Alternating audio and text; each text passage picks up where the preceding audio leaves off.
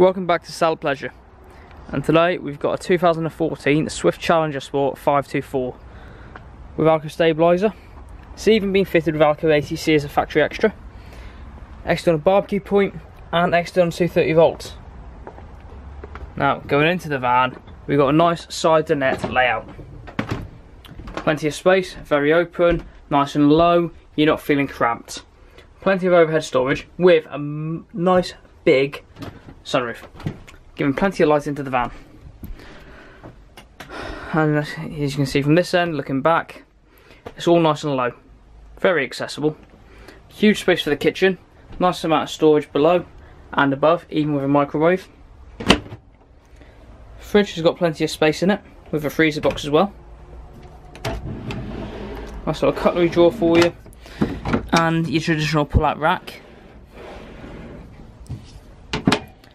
a nice sizable grill and oven with a three gas and one electric hob. Dinette which can be formed into a bunk bed, straight opposite, or used as actual workspace or just as a dinette. Then in the bathroom, we've got a nice sizable shower for you, nice big sink, your loo, and a nice big wardrobe. Nice amount of space for you both or all of you, however many of you go. It's a nice family van, or even just the two of you if you want the extra space. A 12 month warranty, a full PDI, a full internal external valet, and a full handover to show how it all works. Plus, a night on Love2Stay, our new campsite. Come and have a look at Salop Leisure.